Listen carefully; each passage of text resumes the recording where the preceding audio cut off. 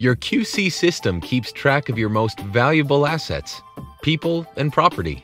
You don't want to lose important surveillance footage, so back up your video regularly. Here's a simple how-to guide. Before backing up video from your DVR, be sure to connect your USB device to the appropriate USB port.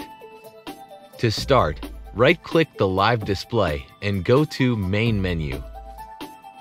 Now, log in to the DVR. If you don't know your password, please refer to your user manual for the default login. In step 3, go to Backup. The fourth step is simple. Check the box next to the listed USB flash drive. Click the Backup tab. The fifth and last step has a few procedures. Select the start date and time and the end date and time. Choose the channel with the video files you wish to back up.